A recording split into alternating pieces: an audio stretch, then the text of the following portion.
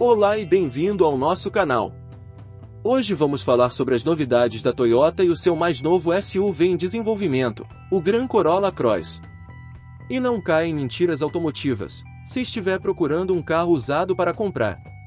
Faça uma consulta veicular no site da empresa Olho no Carro e use nosso cupom MENTIRAS15 para ganhar 15% de desconto em uma consulta veicular.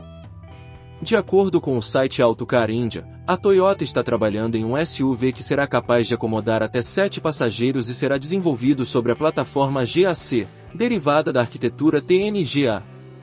O modelo herdará a mesma plataforma do Innova Cross, cedendo entre eixos parecidos, porém com porte inferior para não haver conflitos dentro da gama.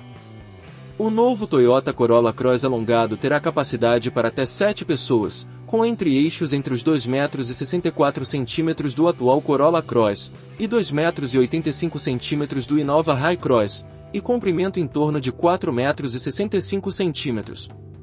Como este novo produto será desenvolvido com o foco para enfrentar Jeep Meridian, irmão do nosso Jeep Commander, e Hyundai Alcazar lá na Índia, o projeto tem tudo para chegar em outros mercados, como Indonésia, Tailândia, Malásia e até mesmo no Brasil.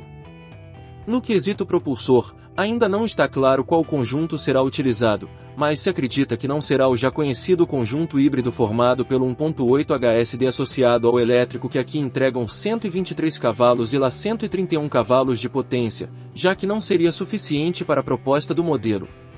Uma opção seria utilizar o conjunto híbrido associado ao propulsor 2.0, que entrega 181 cavalos de potência, algo parecido às potências do Jeep Commander Flex no Brasil. Rumores dão conta de que este 2.0 híbrido pode estrear a qualquer momento no Corolla Sedan Nacional.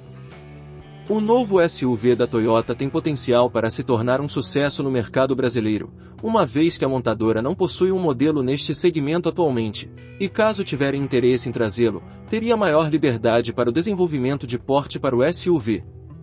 Com isso, não atrapalharia em nada as vendas deste possível modelo, já que acima do Corolla Cross temos somente o RAV4 Hybrid, com preços bem acima do Jeep Commander. E aí, o que você achou das novidades da Toyota? Deixe sua opinião nos comentários e não se esqueça de se inscrever no nosso canal para ficar por dentro de todas as novidades do mundo automotivo.